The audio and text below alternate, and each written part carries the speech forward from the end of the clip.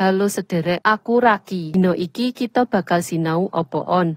Pagi SEO ing video iki, bebarengan karo keterampilan lan kredensial opo sing kudu sampean lakoni yen sampean pengen kerja ing lapangan iki. SEO on pagi minangka praktek ngoptimalake kaca web kanggo tembung kunci tartamtu, kanggo nambah visibilitas, lan lalu lintas mesin telusur. On page SEO uga disebut on site SEO. Faktor optimasi SEO ing kaca kanggo situs kalebu tag meta, struktur URL, judul, isi awak, gambar lan liya-liyane. SEO on page penting amarga bantu mesin telusur ngerti situs web lan isine. Optimasi SEO ing kaca sing apik uga gampangake mesin telusur kanggo cocok karo konten sampeyan karo pitakon telusuran sing cocok. Pentingnya optimasi on page yaiku kanggo entuk peringkat dhuwur lan visibilitas kanggo situs sampeyan. Nalika mesin telusur kaya Google nganalisa situs web sampeyan, jupuk macem-macem faktor saka saben kaca web lan gabungke bebarengan kanggo ngembangake skor peringkat kanggo tembung kunci tartamtu.